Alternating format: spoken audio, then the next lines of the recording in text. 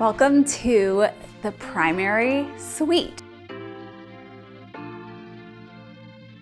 The thing that we had to kind of work through in here is the door into the space is on one side of the room. And in order to get the bed centered on the vault and the chandelier, we had to do some space planning. And that meant that the sides on either side of the bed were a little bit uneven. We had room for a nightstand on one side and a desk on the other. The chair makes it so that it fills this wide space really well. We were able to do a table lamp with a shade. We just leaned into the asymmetry. Instead of trying to do matching nightstands and then we had a gap over here. To me, the trick to doing asymmetrical side tables is all about the height of the lamps. So our lamps here end at the same height because we added some books to the bottom of this one. And this gives it some nice balance without everything being perfectly matching. The canopy bed is really the focal point of this room. We have a nice height to the ceiling and it was a perfect fit for this space. One great thing about being one of our clients is that we can customize the McGee & Co pieces in interesting ways. And so we did our emery canopy bed and we did this striped fabric on the headboard and that tied in the colors of the bedding we have these light blues and grays and we've done a lot of linen bedding and textural details like the tassels on the end here. We have this velvet bolster and one of my favorite pieces is this vintage block print pillow because we're tying in the blue but we're adding this bold kind of red and orange color to the space and I think it just added that punch uh, that we needed against some of these softer tones. When you walk into the bedroom, there is this really large blank wall behind me and we wanted to add a statement. And so we did this McGee & Co piece. The scale in this piece is incredible. And then over in the corner, this is the corner that you see when you first walk into the room. And so we were able to fit a really great lounge chair this is the Lucille from McGee & Co. We have this nice roll arm and the really pretty brass casters. And this is a great example of juxtaposition. So we have a traditional shape on the chair, and then we do a modern task lamp with it. It works really nicely and it's just all about that push and pull when pairing pieces. Up next, we have the primary bathroom. A really beautiful, calming space.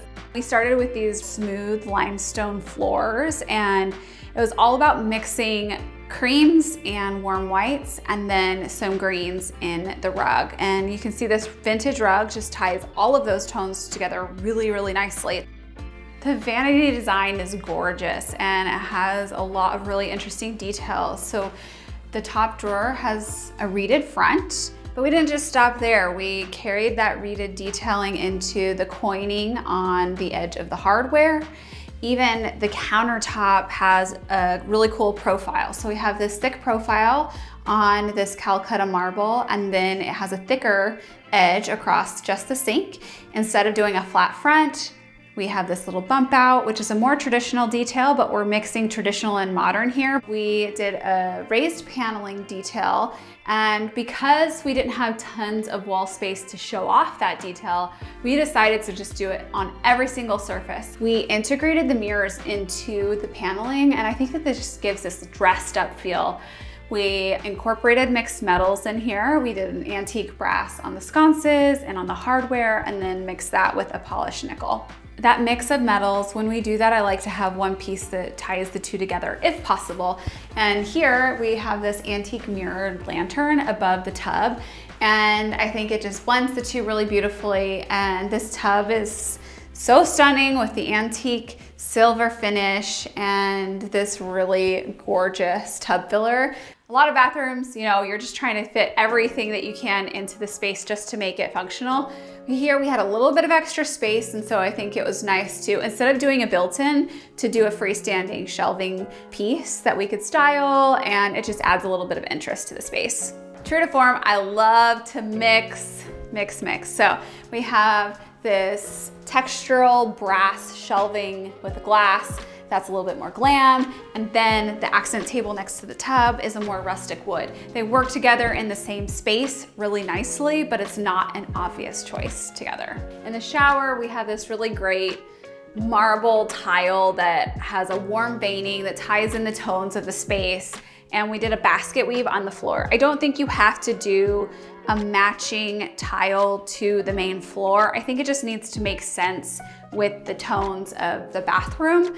And again, I think it is a nice break in the flooring and, and just keeping it interesting. This space is probably the most unique space in the home.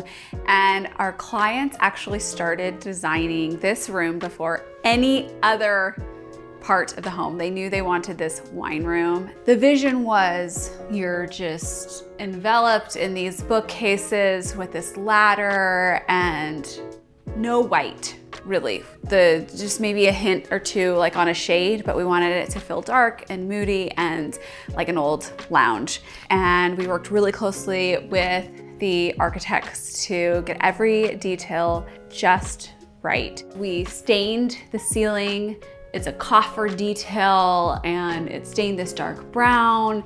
And then we have this inky blue on the walls and the built-ins. And I love that they carry up and over the windows. Even the drapes pocket in behind this built-in.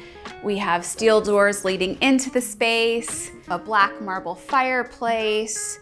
We have a dark stained double stripe detail that runs around the border of the room and it just elevates the entire space. A vintage rug that sets the tone for the whole room and we have this great emerald green tufted velvet sofa, and then these leather club chairs that have this low slung, kind of relaxed feel to them.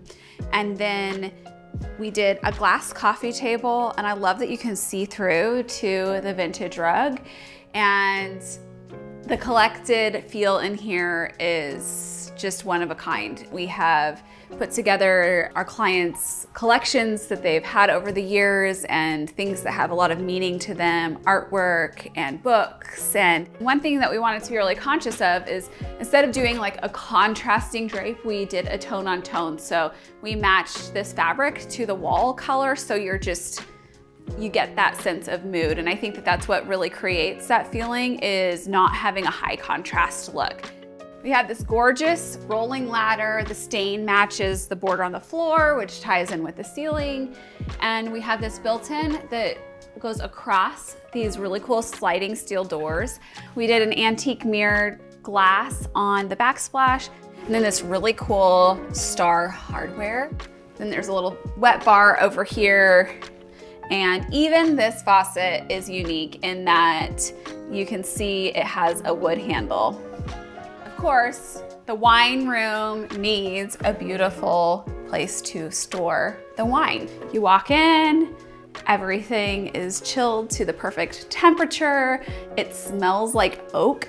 All of this storage is oak and you can just, I mean, it's incredible. So you can walk in, and we did a plaster on the ceiling. There's a barrel vault in here and the tone of that ceiling ties in with the built-ins of the room. Each little detail throughout the room is so unique.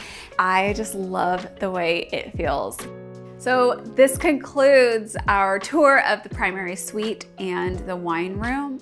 We have more webisodes that we've already launched that you can dive into, photos on the blog, and there's so many rooms in this home. Just dive in and enjoy.